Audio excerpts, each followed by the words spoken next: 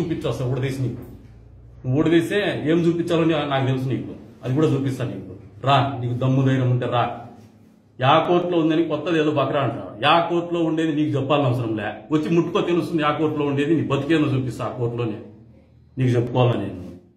చాలా మందిని చూసిన నేట్ల వాళ్ళని రాజశేఖర రెడ్డి ముఖ్యమంత్రి అయితే పదిహేడు కేసులు పెట్టి మూడు నెలలు లోపల పెడితే నాకు తెలియదు నాకు సంబంధించిన సంబంధం లేని కేసుల్లో మళ్ళీ నిలబడి ఎమ్మెల్యే అయినుండి నేను.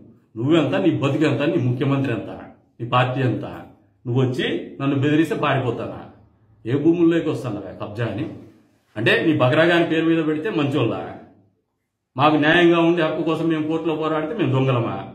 నీకు సిగ్గు మానం లజ్జా ఏమైనా ఉంటే నువ్వు మాట్లాడే సొల్లు కాకుండా నిజాయితీగా నీకు దమ్ము ధైర్యం ఉంటే ఎప్పుడైనా సరే చెప్తానని ఇప్పుడు కూడా. నువ్వు ప్లేస్ చెప్పు టైం చెప్పు నేను వస్తా.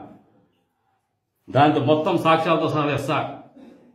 సర్వే నెంబర్తో సహా చెప్తానంట. సర్వే నెంబర్ నువ్వేం చెప్పేది? నా ఆస్తుల పేరు ఉండేది నేను ఆ సర్వే నెంబర్ బహిర్గతం అది. It's a public document anybody can obtain the document from the sub register office ఎవరికైనా ఉంది. అది- పబ్లిక్ డాక్యుమెంట్ ఈవెన్ ఇవాళ ఇన్ఫర్మేషన్ యాక్ట్ ప్రకారం ఏ డిపార్ట్మెంట్ అయినా పోయి తీసుకోవచ్చు. అదేం పెద్ద సంగతి ఉంది? దానికే పెద్ద ర్యాకెట్ సైన్స్ అవసరమా? ఏం మాట్లాడుతున్నారు మీరు? నువ్వు సిగ్గు మానం లజ్జ ఏమని ఉంటే ఎన్ఆర్సీ గురించి ముస్లిమ్స్ గురించి ఉంటే నేను చెప్పిన నేను ఇండ్లు పడగొట్టాను జేసీబీతో పొక్లైనర్లు పెట్టి లేదంటే ఇంకోటి పెట్టాను. నువ్వు ఒక ఆధారం తీసుకురా నేను ఎవరి జోలికైనా పోయేసి పొక్లైనర్లు పెట్టి జేసీ పెట్టి తలలు పలగొట్టి ఇల్లు పలగొట్టాను లేదంటే బోర్ ఇప్పించి అడ్డం చెప్పినా అని చెప్పేసి. నేను నా నేను పత్తిగా చెప్తాడా నేను ఇల్లు కట్టించిన ముస్లిమ్స్. వాళ్ళకి ఏదైనా కష్టం వస్తే పనికి ఈ ముస్లిమ్స్ కమ్యూనిటీకి ఏదైనా ఒక అసెట్ క్రియేట్ చేయాలని ఒక తపనతో నేను నా దగ్గర అప్పు చేసినా కానీ ముస్లిం మైనార్టీ ఫంక్షన్లో నా నా సొంత డబ్బులు పెట్టినోనే అది ఎంత అని నాకు చెప్పలా. కొంతమంది మీరు నలభై లక్షలు వేసినారు. కొంతమంది యాభై లక్షలు అని చెప్పుకుంటారు. నాకు అనవసరం అది.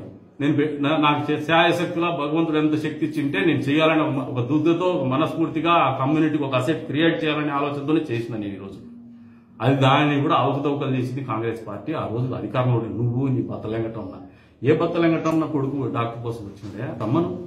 ఎవరు డాక్టర్? బత్తలెంగటం ఎవరు? బత్తలెంగటంలో నాకేం వ్యవహారాలు ఉన్నాయి? రమ్మను. ఏదైనా దమ్ము ధైర్యం ఉంటే నా దగ్గర వచ్చి మాట్లాడమని. లేదంటే బహిరంగ సభకు రమ్మను. ఏదైనా ఆధారం తీసుకుని రమ్మని. నేను సమాధానం చెప్తాను. సిగ్గు లేకుండా అధికారం ఉంది. అధికారపక్ష ఎమ్మెల్యేది నీకు ఆత్మవిశ్వాసం ఉంటే నువ్వు ఒక ఎమ్మెల్యే అనే అభిప్రాయం నీకేం లేదు నీ మీద.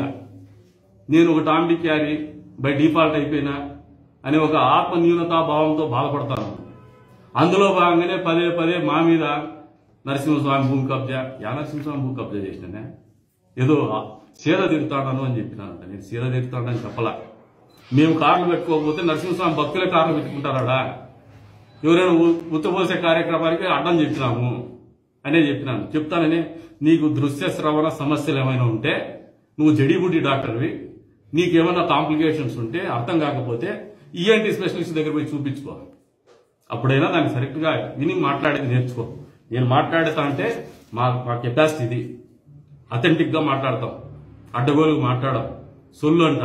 ఆ సొల్లుకు అర్థం ఏందో పత్రికా విలేకరులు ఈ రోజున మీరే జడ్జెస్ మీరు ఏదైనా మాట్లాడదలుచుకుంటే ఆయన సమాధానం చెప్పుకోదలుచుకుంటే ఇంకొకసారి మీరు ప్రెస్ మీట్ పోయినప్పుడు ఇట్లా మాటలు మాట్లాడినప్పుడు మీరు కూడా దాన్ని కండెమ్ చేయకుండా అడ్డగోలు సొల్లు జొల్లు అనే మాటలు మాట్లాడేటట్టుంటే this is the credibility what I have దాన్ని నిలదీయాల్సిన అవసరము బాధ్యత మీ మీద కూడా ఉంటుంది సామాజిక బాధ్యత కింద. ఏదంటే అది మాట్లాడుతా అంటే నేను టైంపాస్ కూర్చున్నాం అనుకున్నావా? ఇప్పుడు చెప్తాను ముస్లింల పట్ల నీకు డబ్బు పిచ్చి ఎంత ఉందో నాకు డబ్బు పిచ్చి లేదయ్యా. ఈ నియోజకవర్గంలో ఎవరిని పోయి అడుగు నా శత్రువుని అడుగు. నీ దగ్గర ఉండే అన్యాయం నీ దగ్గర మాట్లాడచ్చేమో బయటకు వచ్చే మాట్లాడతారు అడుగు. కందికుంట ప్రసాద్ డబ్బు పిచ్చి ఉందా లేదా చెప్తారు. డబ్బు సంపాదించిన ఆలోచన ఉందా లేదా చెప్తారు. నువ్వు ఆస్తుల గురించి నా బ్యాంక్ అకౌంట్ గురించి చెప్తాను ఈరోజు చెప్తున్నా డెబ్బై రెండో సంవత్సరంలో మా ఫాదర్ నన్ను పెట్రోల్ కార్లో ఎనిమిదో తారీఖు వరకు నాకు బస్సు తెలియదు that is the life what I light పుట్టుక చూస్తే తెలిసిపోతుంది మనిషిని. ముక్కు మొహము చర్మం చూస్తే ఓ మనిషి పుట్టుక చెప్పేయచ్చు. ఏ స్థాయిలో ఉన్నారు. నీ పుట్టుక చూసుకో. సరే అష్టావకరుని పుట్టుక. నువ్వు నన్ను మాట్లాడతావా? నీ బతుకెంత? నీ యోగ్యత ఎంత? సభ్యత? సభ్యత? ఏం సభ్యత? నీకు? ఎన్ని నీ బతుకు సభ్యత? పొట్ట పట్టుకొని ఇక్కడికి వచ్చేసి మా మీద పెత్తనం చెలాయిస్తా అంటే నీకు సభ్యత. అనవసరమైనటువంటి మాటలు మాట్లాడుతా అంటే ముస్లింలు అని చెప్పేసి రాజకీయ ప్రకారంగా ఆ కమ్యూనిటీని రెచ్చగొట్టే దూరంలో మాట్లాడతారంటే అది సభ్యత. బోగస్ వ్యాపారాలు చేసే ముస్లిం కమ్యూనిటీలో కూడా రియలేటర్స్ ఉన్నారు. ఆ రియలేటర్స్ అందరికి ఇబ్బంది కందికుంట ప్రసాద్. ఎవరైతే బోగస్ డాక్యుమెంట్స్ చేస్తారో ఎవరైతే కబ్జాలు చేస్తున్నారో ఎవరైతే మునమోపులు ఆస్తులు కొట్టేస్తున్నారో వాళ్ళందరికీ నేను సమస్య. వాళ్ళందరూ కలిసి గాలి పోగేసుకొని నువ్వు వాళ్ళు కలిసి మాట్లాడితే అది వాస్తవాలు అనుకుంటున్నావా? Yes all the guts to face it నువ్వు అంత ఈజీగా లెక్కేసుకోవద్దు. చాలా వాడు చెప్తాను అడుగుడో నువ్వు ఎంతమందిని హత్య చేసినావు ఎందుకు పక్కన Hi, this is Trisha. I'm Radhika Apte. వస్తాను కృష్ణమూర్తి నేను ఆలీ మాట్లాడుతున్నాను You're watching E3 Media Network. E three Media Network E three Media Network E3 Media Network. E3 means entertainment entertainment, entertainment.